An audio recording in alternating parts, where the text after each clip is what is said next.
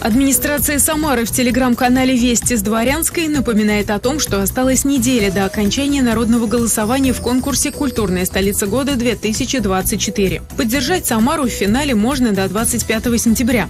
Конкурентах Нижний Новгород, Грозный, Новосибирск, Калининград, Чебоксары, Томск, Чита. Основное позиционирование Самары для участия в конкурсе «Самара просто космос». На эту минуту она занимает первое место в народном голосовании на 9 тысяч голосов, опережая Нижний Новгород. Жюри назовет победителя конкурса 28 сентября, оценив заявки финалистов по 12 направлениям – от городской среды и туризма до образования и духовных ценностей.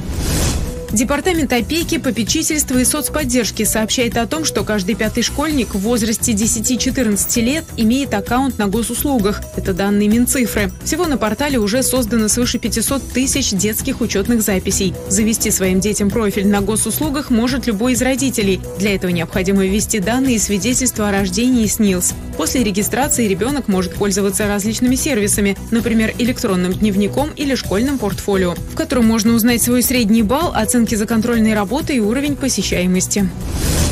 Администрация Куйбышевского района сообщает о достижениях в соцсетях. Сегодня в группе ВКонтакте Куйбышевского района уже более 4000 подписчиков. Присоединяйтесь и узнавайте самые актуальные новости района первыми.